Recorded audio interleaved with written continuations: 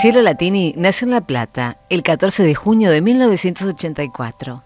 Es escritora y autora del bestseller Absurda. En este libro describe las diferentes situaciones por las que pasa durante su adolescencia, padeciendo anorexia nerviosa. Absurda es el primer libro de la autora. La primera publicación, con un tiraje de 5.000 ejemplares, se agotó en pocos días. El libro influyó en adolescentes. En Argentina se vendieron más de 260.000 ejemplares. La autora promocionó el libro en muchísimos países y ha sido traducido al portugués, donde las primeras ediciones fueron agotadas en Brasil. También se ha hecho la versión en español para España, donde también fue un éxito en ventas. En 2010 se lanzó Chubasco, el segundo libro de Latini. Este año absurda fue llevado al cine, protagonizado por Eugenia Suárez y Esteban Lamote, con las participaciones de Gloria Carrá. Cielo Latini cuenta que escribe para vivir y toca el piano para disfrutar. Y dicen que para morir le falta plantar un árbol. Hoy, en Buenos Días Buenos Aires, nos visita la escritora Cielo Latini. Fuerte el aplauso. Bienvenida, ¿te gustó? Me encantó. No nos muy equivocamos en nada, ¿no? Nada, nada, todo perfecto. Todo perfecto. Sí, por escribano te digo, está perfecto. Bueno, primero quiero saber cuál fue tu impresión cuando viste eh, la película. ¿Qué La sentiste, película. no?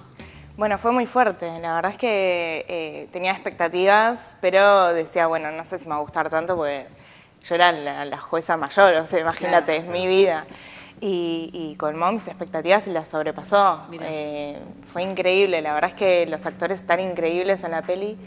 Y mm, para mí fue muy angustiante volver a verlo porque hace tanto de esta historia, hace nueve años que escribí el libro. Eh, ya estoy tan lejos de eso que volver a verlo fue como. Sentí mucha, mucha pena por todo lo que tuve que pasar. Si bien ya estoy lejos, ¿no? Ahora lo escribiste, decías nueve años. De muy chiquita empezaste a escribir. Sí, sí, yo empecé a escribir a los 14, eh, pavaditas, cuentitos, poemas, y después estudié periodismo en la UCA y decidí que eso era lo que quería hacer para vivir. Y no tenía muy en claro qué escribir y una amiga me dijo a los 17, pero ¿por qué no escribís tu vida si es un, es un libro o es una peli? Ah, tenés razón, puede ser. Y me puse a escribir y se publicó enseguida, a los 20, ¿no? 21 se publicó el libro. Ahí veíamos, eh, dice, influyente en los adolescentes, ¿no? Y qué importante, digo, para aquellos que por ahí no, no, no vieron tu, no leyeron tu libro, pero que ahora van a ir a ver la película.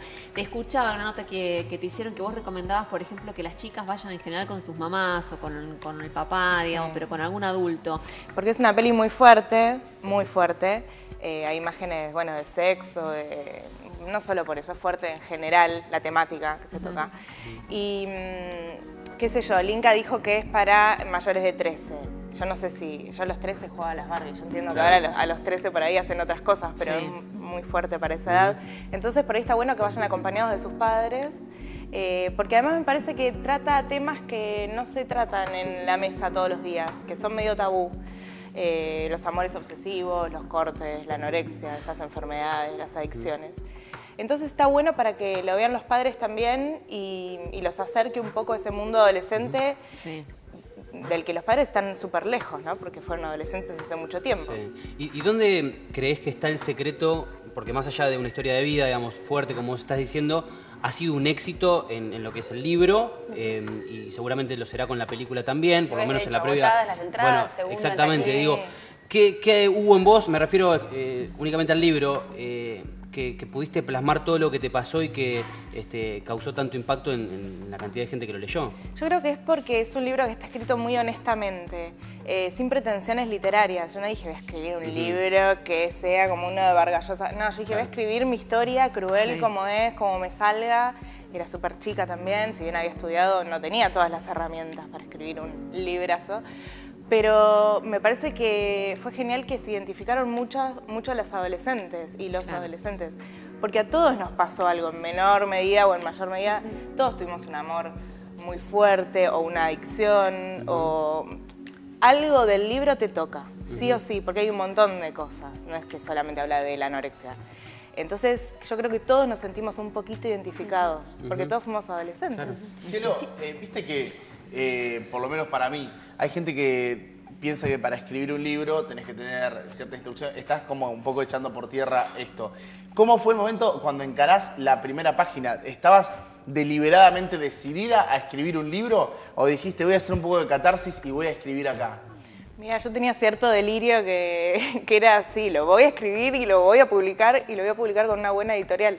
¿E-, ¿Eras lectora vos? Proyecta muy lectora? Sí, sí Claro, muy bien. muy bien. Sí, desde chiquita, pero muy, muy, Muy chiquita. lectora. Muy chiquita, muy lectora, la verdad que sí. Porque Eh, también hay que organizar las Claro, ideas, claro. ¿no? Para... Es que yo creo que la mejor escuela para escribir es leer. Claro. No hay otra. Eh, vos lees y te nutrís de, de- de las voces de los escritores, de cómo escribe uno, ves las diferencias, ves las estructuras de los libros. Yo tenía muy en claro que eso es lo único que quería hacer en la vida, o sea, no sé hacer otra cosa realmente. Es lo único que creo que me sale bien y donde me siento a gusto.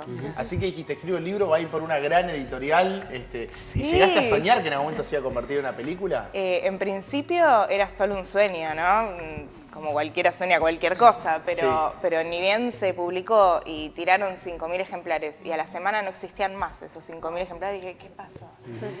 Y vinieron a llamarme productores, eh, de, queremos hacer la película de tu libro, enseguida. Se demoró, bueno, nueve años porque, Sí. por cosas de la vida. Cielo, y a lo largo de estos nueve años, ¿cuál fue el testimonio por ahí más fuerte? Porque me imagino que tanto en presentaciones de libros, ni hablar por ahí con la película que se vi- visibiliza un poco más, aparte con los protagonistas que tiene la peli, ¿cuál fue el testimonio más fuerte o el que recuerdas de alguien que se te haya acercado y que haya compartido con vos? Mil, pero mil, por año mil. De hecho, ahora en abril estuve en la Feria del Libro y vinieron 3.000 personas, hicieron 7 horas de cola y, y por ahí lo de la editorial me dice, dale, dale, dale, dale, que pasen, que pasen. Y a mí me gusta estar con cada uno y escucho a cada persona que viene, porque si hiciste 7 horas de cola, lo mínimo que puedo hacer Claro. es darte un abrazo y escucharte, ¿no? Ponerte la oreja. Eh, pero a mí me mata cuando vienen las madres a decirme gracias, gracias, porque eh, no porque yo haya hecho nada, sino porque mi hija leyó tu libro y a partir de eso se animó a contarme. Y eso me mata, ¿no? Que, que el libro sea un instrumento para que una madre pueda acceder a su hija. Es genial, es un orgullo. vos sos mamá ahora. Yo soy mamá. Digamos, lo entendés más que nunca, Ay, que lo necesario que es que, que alguien ayude para, para la conexión entre las madres y sobre todo las, las chicas, pero también la, Sí. la anorexia está vinculada a los hombres, ¿no? Digo, Sí, pero bueno, por supuesto, no más es común entre las excluyente, chicas, sí. claro. Pero claro, el porcentaje mayor es de mujeres. Y en relación a esto, eh, ¿cómo te sentís vos siendo la, la segunda persona más, más eh, importante de la, de la familia de los latini? No, Ah, o sea, no, vos, no, vos no. sos el primero. él, él se abría la boca era para decir algo de él en relación. no, eh, hay que decir que somos primos. Claro. Esto no- bueno, es Digo, una porque- relación de toda la vida. Una, una piba común, una piba de barrio, una piba que estudió periodismo. ¿Cómo te, te llevas? Si te gusta o no. Imagino que sí, por las cosas lindas que te han pasado con esto de la, de la fama, de que haya personas eh, haciendo siete horas para verte, para saludarte, para darte un beso. Eh, ¿Está bueno? ¿Cómo es? Eh, Contale al que no llegó todavía. Es el más importante, pero todavía no vivió eso. Y hace de todo para llegar, pero todavía no llega. Ir preparando el terreno, ¿viste? Claro, te traigo a la feria del libro y digo, mi primo, mi primo, mi primo, a cada uno. una foto con vos nada más. Ahora lo subimos en Twitter. Eh, nada, me llevo bien porque sé que es una mentira, es una construcción, es algo que se cae a la noche. O sea, yo estoy una divina firmando libros, abrazando, después me vuelvo a mi casa sola a tomarme un té. O sea, no me la creo, no es que voy por la vida diciendo yo soy tal. No me afecta, no, no me, no- no es importante para mí, la verdad. Bueno. Está buenísimo, eh, lo agradezco en el momento y, y estoy con cada uno, como dije, le doy bola a cada uno. Y después me voy a mi casa y soy cielo, ni idea. Vos vivís acá en La Plata. Sí, en Citibel. Y, y re- Sí. has recorrido muchísimos países eh, con esto. Sí. Eso también, digo, son, son experiencias que, que también te van sumando un montón, ir conociendo gente. Porque eso sí, capaz, a ver, uno piensa ahora, acá, ¿no? Eh, estamos haciendo un programa de televisión, quizás si le va mejor al canal, si nos va mejor como programa, un día sos conocido. Ahora, que te conozcan, no sé, este, en Venezuela Sí. o en, o en Sí, cualquier en España, lugar. hablar. eh, en Colombia, Venezuela. Ecuador. En Perú yo no puedo caminar. Claro. O sea, en Perú no sé qué pasa, que hay, es un hit del libro, es un hit.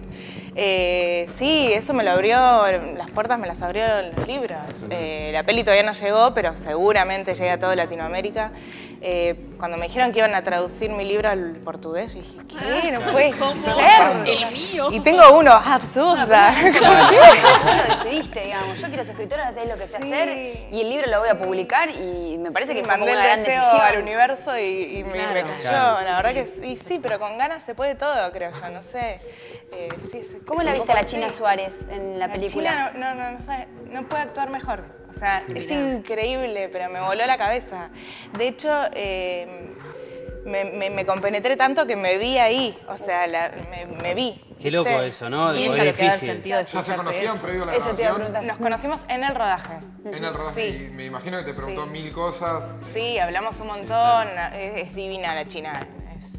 Genial. Y es muy buena actriz. Me sorprendió porque yo la verdad es que no la había visto antes, porque no soy muy de ver tele. Y cuando me dijeron que era la China dije, uy, bueno, ¿cómo será? Claro, porque es tan linda y todo, y decís, bueno, es una cara bonita que yo, pero no, sí, está Pero cada no. vez mejor. Que bancar, Pero claro. la rompe, ¿no? Es increíble. Y sí, hablamos, estuve ahí en, en el rodaje, fue, fue muy divertido. Pues imagínate sentarte a ver en el cine una película que es de tu vida. Es una locura, no Sí. sé si mucha gente puede decir eso, es ¿Cómo se una haciendo por locura. partes, ¿no? En un rodaje que se corta, que no, que metele esta intención y vos sos la protagonista de lo que Claro. escribiste y lo Claro. le puedo decir yo como, como Claro, que exacto. Cielo, ¿cómo te llevas con las redes sociales? ¿Son un canal de comunicación con, con tus fans o no le das mucha Sí, bola? sí, aprovecho para decir que hay un Instagram que es trucho, si me Ah, dejan, bueno, sí, cómo eh, no. que Sí. es eh, Cielo Latini, ok. No soy yo, no tengo Instagram porque es una fiaca y también hay perfiles falsos. ¿Y no de sé. Twitter hay perfiles falsos o De- está? Porque eso también pasa mucho. Eh, oficial Seguramente, yo, yo soy Cielo Latini, arroba Cielo Latini y... Todo y- junto, Sí, como- todo junto, como suena. Eh, No, pero eso le pasa a los famosos. Claro. Yo Yo quiero no decir que el eh, el Juan Rubinacci guion bajo K es trucho, ¿eh? No Además, yo dije que el mío es y además me quiere seguir, ¿no? Cielo, eh, ¿y en qué andas ahora? Más allá de, de- de lo que, de que estás generando este boom con la peli y demás, eh, ¿seguís escribiendo? ¿Qué, qué- qué estás haciendo? Sí, estoy escribiendo la continuación de Absurda. Mira. ¿En serio? Sí, sí, sí, pero Porque no... te quedaron cosas por decir. Me quedaron, Ah, cosas mirá. por, me quedaron cosas por decir, pero es como, es un viaje el, el tercer libro, porque va para adelante y después vuelve a cuando yo era muy, muy, muy chiquita y trata de explicar un poco los vacíos que hay en Absurda, que no conté todo, obviamente, porque eh, no se puede contar todo en un libro y está bueno, está bueno. Pasa que tengo que conjugar mi vida de mamá Ah, con claro. mi vida de Claro. Ahora es otra escritora. cosa. Claro, ya no tengo todo el el, tiempo, día. basta, a mí me no gusta tiempo. escribir a, a la madrugada, por ejemplo. Ahora a la madrugada dormir. Aprovechá si tenés una hora para dormir. El libro, la compu. Claro, más o menos tengo que pedir permiso para ir a bañarme, Sí, ¿viste? sí, es, sí. es un tema. Porque además cuando escribo yo me, me hundo medio en unas aguas turbias que yo, a mí me gusta escribir como eh, con sangre, digamos. Sí, no es que tenés 15 minutos libres y te pones a Claro, no, necesito Mamá, ¿qué querés? Una preparación caperucita por el bosque, no. que al primer mami necesito, ya se me fue. Chao. Claro. bueno, ¿Y ya está. algún- eh, ¿Tiraste algún otro deseo del universo? ¿Alguna otra convicción fuerte acá Bueno, para adelante? ayer cumplí años, cumplí 25 Feliz de nuevo. cumpleaños. Chicos, Me la paso cumpliendo 25 Muy hace bien. un montón, no entiendo por Me qué. gusta eso. A Sí. nosotros nos pasa Me gusta eso. Eh, Y pediste los tres deseos. No pidas, no digas porque por ahí, por- pero alguna No. convicción así de las que puedas contar. Sí. ¿Sí? No, contar No, no, no, pues no se va a cumplir. Claro. No, claro, claro, es secreto, es secreto. Yo puedo pedirle al mismo universo que vos. claro. Es Qué el bueno. mismo, es este. es ¿Y este. vos, vos, eh, utilizás ese tipo de cosas? Eh, ¿Sos mm, bastante espiritual así de decir, bueno, le pido al universo y esas cosas que se cumplan? Mira, nunca creí de en esas atracción cosas. y demás. Nunca creí en esas cosas hasta que leí ese libro. El, secreto, secreto. es Claro, el deseo. claro. El El secreto, el secreto. Y más o menos todos hablan de lo Yo mismo. lo leí también, sí. ¿Sabes qué? Tiene sentido. O sea, Sí. tiene sentido. O sea, por, por ahí es súper mágico. No sé, a mí me dicen nada. No, pero vos hiciste un montón pero- de cosas, digamos, vos determinaste, yo quiero ser escritora, bueno, pero te pusiste a escribir, no es que te cayó de la galaxia Bueno, el, el, digamos, la, la escritura. Es que el libro no te dice que, que desees un millón de dólares te sientes así, no. Dice, No. Anda a buscarlo. Claro, Claro. hace cosas. Ganate pero- el primer dólar. Claro, pero dejá el deseo ahí puesto. Y me parece que tiene sentido y además soy muy afortunada porque siempre hice lo que quise en mi vida. Nunca tuve que hacer algo que no quise, la verdad es esa. Qué bueno. Y me salen las cosas. No sé, estoy tocada por, por una varita. Más allá de haber sufrido un montón, ¿no? Pero lo que me Pero propongo eso que lo hago. sufriste lo pudiste transformar, Claro, digamos, en, todo Sí. esto que se te vino después. Bueno, sí, es mi superpoder, el único que tengo de poder salir del, del pantano y, y seguir y seguir. No, y ser causa para un montón de gente, digo, esto que vos contás medio como hace, bueno, tres horas, no sé qué cantidad de gente haciendo cola, eso, digamos, que una madre haya podido hablar el tema con su hija, que lo haya, por ahí hasta eso llevó a una terapia familiar o llevó a que ese tema pueda crecer, no es menor, digamos. Sí, seguro. Un gran poder. Sí, la verdad es que me, me- e- eso es muy emocionante porque me paran por la calle siempre eh, y no te piden una foto, se ponen a llorar y, y te cuentan las cosas. Qué loco. Pero yo estoy ahí para, para sostener eso, no es que yo digo, bueno, bueno, yo estoy ahí de verdad y me gusta escuchar. Eh, a- eh, sos, eh, bueno, estuviste- estudiaste periodismo, nos decías hace un ratito. Eh, ¿Querés salir un poco de, de lo que es la, la cuestión gráfica, de, de escribir eh, solamente y quizás meterte en otro rubro? Tele, radio, no sé, ¿te, te gustan esos Sí. lugares también? O? Me gusta mucho, ¿Sí? me gusta mucho la televisión. ¿Tele siento que- hiciste? Tele hice, sí, estuve en cadena de noticias a las 11 de la noche, nos veía mi mamá, Claro. eh, mi papá creo que también, pero estuvo muy bueno, estuvo bueno. Eh, Yo en la tele me siento como que en mi hábitat, no sé, Sí. estoy bien, no, no- me gusta. Y radio me encantaría hacer, la verdad es que, que sí. Pero todavía no puse ese deseo en el universo. Claro. Es cuestión de. Para O no me está funcionando. 12, ¿viste? Porque tira un par así. Qué lindo. Sí, me gusta, me gusta, me divierte, me divierte. Bueno, Sí. te quiero consultar esto. ¿Vos sentís que hace falta trabajar mucho más el tema que vos padeciste, digamos? Que la gente se identifique tanto con tu libro y que te busque más. ¿Es porque falta quizás eh, un trabajo más intenso, quizás a través de los medios de comunicación o a través del Estado, para que las chicas que padecen lo que vos sufriste tengan mayor contención? Sí, seguro. Si bien eh, en los colegios ahora dan charlas de, de salud y esas cosas, es diferente que venga alguien en primera persona y te diga, mira, a mí me pasó esto y yo salí de esta manera. Eh, por eso, bueno, a veces me llaman de colegios para dar charlas, está bueno eso. Me parece que sí, porque los adolescentes eh, que tienen este problema tratan de ocultárselo a los padres, obvio, y, de- y- y les mienten. Eh, me parece que si los padres se empiezan a acercar un poco, los adolescentes se pueden llegar a abrir un poquito más. Sí, falta elaborarlo, obvio. Sigue siendo medio tabú el tema. Y respecto a los medios, Cielo, ¿cómo ves en relación a, a, digamos, todo lo que es la- el, el cuerpo y el mensaje sobre el cuerpo, desde tu opinión, desde haberlo padecido? Sí, y, y estaba medio equivocado, todos compramos eso, ¿no? Sí, sí. Eh, desde bailando por un sueño hasta, no sé, cualquier cosa. El otro día la vi a Luciana Salazar diciendo que pesaba 43 eh, Sí. kilos. Y Y que estaba siempre había sido saludable. delgada, Y que sí. estaba- Viste, y esas cosas decís, bueno, cualquier chiquita que está mirando se puede llegar a confundir. Pero me parece que todos avalamos eso un poco, ¿no? Sí. Y desde la casa a veces yo escucho eh, que utilizan como un insulto, nada, pero este gordo, Sí. como descalificando a alguien porque es gordo. ¿Qué? De hecho, ahora empezó un reality muy interesante en Discovery Home and Health de una chica que pesa casi 200 kilos, Sí. que viralizó un video por internet bailando. Ah, ¿sí? Y ella dice que bailando eh, y con hábitos saludables y demás va a bajar de peso. Y dice, yo la verdad dice, eh, me dicen gorda, dice, pero acá en Estados Unidos somos todos gordos.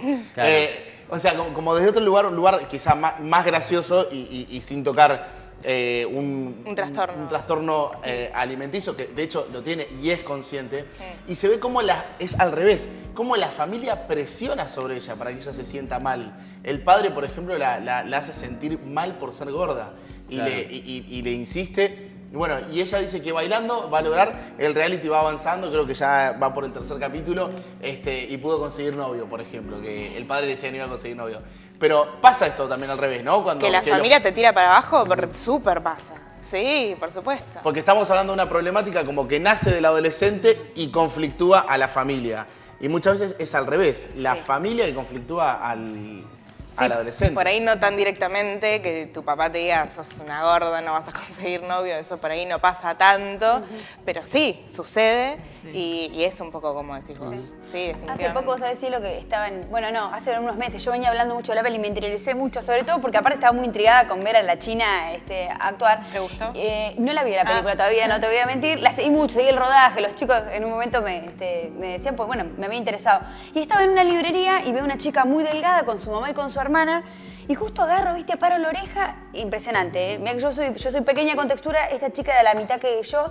Y la madre en un momento le dice, estás muy flaca, fulana. Y ella le dice, mamá, yo no estoy muy flaca, porque si la Barbie humana, eh, que ella la veía por internet, pesa tanto, a mí me faltan tantos centímetros, tenía la cuenta muy hecha.